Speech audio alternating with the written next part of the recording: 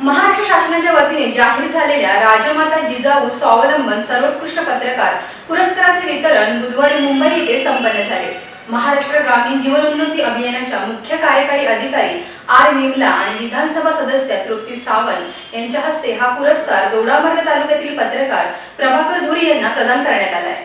राष्ट्रीय ग्रामीण जीवनोन्नती अभियानांतर्गत उमेद अभियानाच्या माध्यमातून महिला सक्षमीकरणासाठी राबविण्यात आलेल्या उपक्रमांना ठळक प्रसिद्धी देऊन उत्कृष्ट लेखन केल्याबद्दल दोडामार्ग तालुक्यातील पत्रकार प्रभाकर धुरी यांना महाराष्ट्र शासनाच्या वतीने जाहीर झालेल्या राजमाता जिजाऊ स्वावलंबन सर्वोत्कृष्ट पत्रकार पुरस्कार मुंबई येथे महाराष्ट्र ग्रामीण जीवनोन्नती अभियानाच्या मुख्य कार्यकारी अधिकारी आर विमला आणि विधानसभा सदस्य तृप्ती सावंत यांच्या हस्ते प्रदान करण्यात आला.